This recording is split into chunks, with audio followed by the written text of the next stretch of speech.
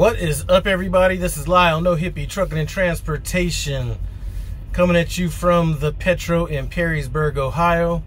Posted up about 33 miles from my drop off at 0100, so got about 11 hours, maybe 12 hours to uh, start rolling out of here.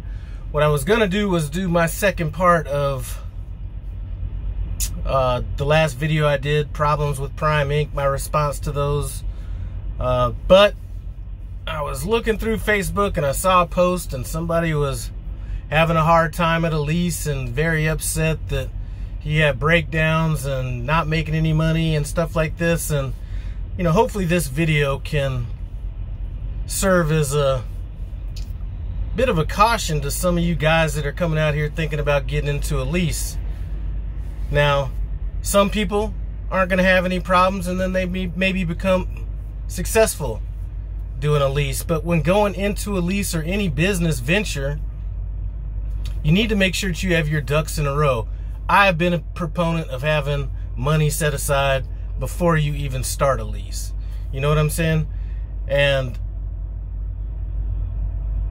it looks like to me a lot of the people that are coming into prime, you know, a lot of a lot of people just don't have life experience in general, but I wouldn't say business experience is necessary, but a decent bankroll is going to be a good start. And I see a lot of people that are coming that want all of the upside to go and lease, and they don't want any of the downside of it. You know what I'm saying? And everybody's going to go through unfortunate stuff. You know, before I decided to bite off and get a second truck and have somebody run that second truck, you know what I had to think? I had to think about do I have enough money set aside if my truck breaks down and the other truck breaks down? Do I have enough money to handle both of those trucks breaking down, paying my driver, even though I may not be getting paid? And you know what happened? That just happened. I haven't got paid, you know, in a couple couple weeks. I mean, I just came off of home time, but you can't just get into these leases with just just thinking about the upside. And you know i think one of the things that success leasing does is makes it almost too easy for people to get into it. I mean i'll be honest with you and people are gonna maybe think i'm an asshole. If i was running well you know personally i think that if somebody's gonna lease then they should have to provide a couple bank statements you know, maybe not a credit report because it's not going to be credit, you know, it's not going to be credit like that, but uh, at minimum, a couple bank statements to show that you got at least a little bit of money to weather the storm. And I don't know what that amount is. You know, personally, I tell people at a minimum, I mean,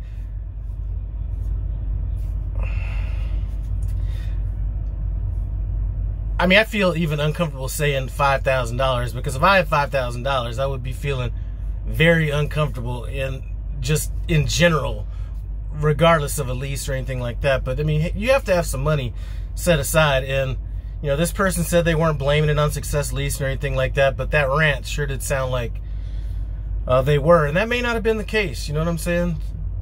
But uh, in business, somebody's got to fail there can never be a 100% success rate in business. You know, being able to weather the storm is what sets the people aside that are going to be successful and those that aren't. So if you happen to be on your trainer's truck or thinking about coming to Prime and, uh, you know, you're looking at your trainer and he's talking about going lease, you got to look deep inside yourself and and think, do I have the money set aside if my truck breaks down? Because you know what? I mean, I know Success has like some kind of a little warranty or something on their truck or something like that, but you know, I gotta, I gotta kind of bring back a little saying that I used to have in the car business. When somebody used to be buying a used car that was out of warranty, they'd say, well, you know, what happens if the car breaks down when I leave the lot? And I'd say if the car breaks in half, you own both halves. You know what I'm saying? So, uh, you got to have that mindset that nobody's going to be there to bail you out. And to be honest with you, you know, Success Leasing does more, or just Prime in general, the the the way they have everything integrated is already babying people enough. So you got to at least just be able to pick up that little bit of slack. You know what I'm saying? So don't just look at, oh, you know, I'm going to go lease and make all this money because I'll be honest with you, there's a lot of lease drivers out here that make a whole lot less than some company drivers. And that's just facts. You know what I'm saying? You know, you you can come on here and see people that maybe are doing well, things like that, but behind the scenes, you know, there's a lot of people that aren't out there with the platform that are going through it and they're going through it even in the best of times. Now, a lot of that has to do with them, but you have to be you have to be like your mindset going into the lease shouldn't just be I just want a lease. Your mindset has to be I got some bread stacked aside. If my truck breaks down, you know, if you're on a regular lease and you're not on a lease purchase, you already got breakdown pay. So that covers you a little bit. So you're not going to go too negative in it. But you got to be in the mindset that, you know, I mean, I wouldn't feel comfortable having less than a month set aside to pay all my bills on my house side and have you know, five, six thousand dollars set aside. Minimum, that's me. Now there's plenty of people that get out here doing these leases that everything goes perfect, they're not broke down, everything's gravy, and they become successful. But you for everybody that looks at just the positives and stuff like that, trust me, there's somebody behind them that didn't things didn't go that well and the difference between them failing and possibly leaving prime uh, is luck, and then the other half may have had a little bit of money, a little bit of money to withstand the storm. So, anyway, I do think that you know to go along with my last video, things that I think could possibly change at Prime.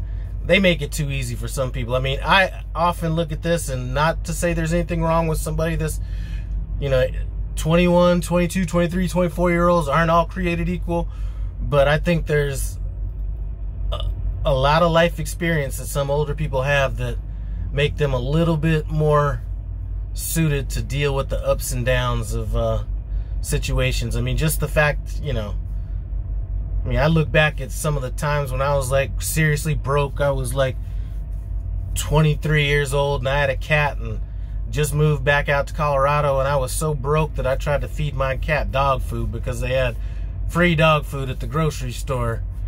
And, uh, you know, I look back at those times and I'm like, okay, if I can make it through that, I can make it through anything. But if you're 21 years old, maybe you haven't gone through that. I don't know, but you just can't be looking at the upside of this. And then when things don't go right, then be all shocked and everything that, you know, something didn't go right. Because in the long run, if you have that money to withstand the storm, you will potentially, if you know how to actually run a truck, you will be successful. It's just making it past those downsides. And I've had some downsides myself just recently. I had my other truck down. My other truck wasn't moving for, you know, for a while. Had some bills on that truck. Then my truck had like a little air leak problem, which I'm about to be dealing with in Springfield. You know what? Boom. Told my other driver, you know what? Thanks for handling things. I I got your back. You know what I'm saying? So if I wasn't set up for that, what would what what what would the outcome have been? I'd had a driver that was just ass out. I mean, made a little bit of money, but anyway, that's that's a totally different subject. It just more of you guys that coming to Prime and thinking you're going to lease actually need to like think about this a little bit more. Because it's almost painful to read some of this stuff and and I mean painful that it the painful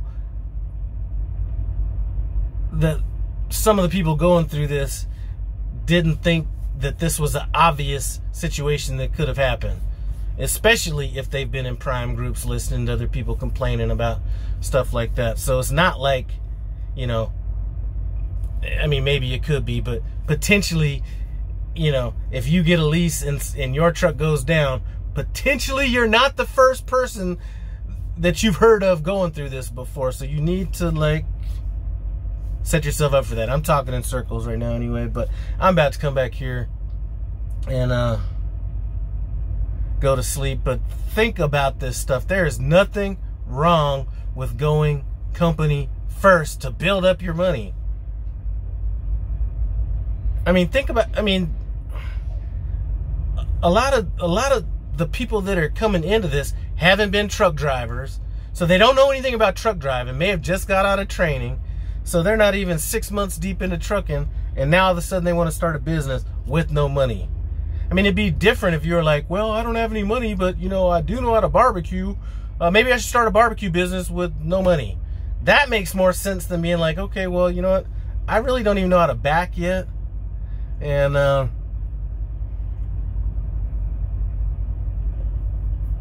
I'm not 100% sure on how to run my hours of service, but you know what? Maybe starting a business where those things uh, are important. You know, maybe that's not the best thing in the world. Maybe I should learn a little bit before I actually do it. So anyway, and then there's other people, and I've talked to people, listen, if you're retired, you know, I've spoke to a couple people, one's retired or about to retire from the police, uh, you know, from the police department, another one's uh, retired Air Force, you know, I think one of their houses is paid off or something like that, and they got money set aside and all that kind of stuff. And if that's your situation, then by all means, lease. There's, if you can weather the storm, by all means, do it. You know what I'm saying? But, you know, I'm 23 years old, and I, you know, my last job, and this is taking nothing away from Wendy's or Burger King or whatever, because Burger King was one of my favorite jobs in my life.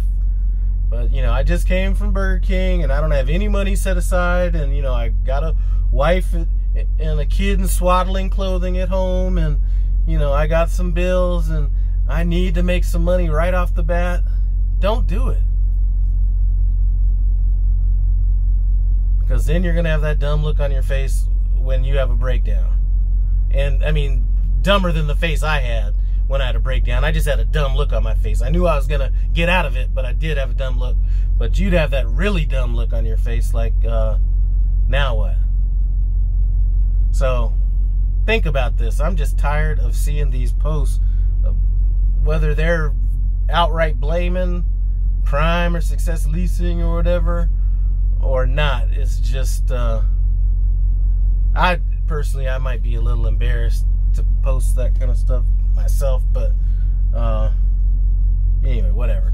Uh, I appreciate you guys stopping by No Hippie Truck and Transportation. I know I kind of came off a bit like an asshole in this video, but if I could just catch somebody's attention and let them think about the negatives that can happen in leasing instead of just looking at all the positives, I've done my job. And if I came off a little bit harsh, I apologize. But if it just saves one person from having that dumb look on their face, I've done my job. Anyway, thanks to all my No Hippie Truck and Transportation. I appreciate it. Comment, subscribe. I'm out.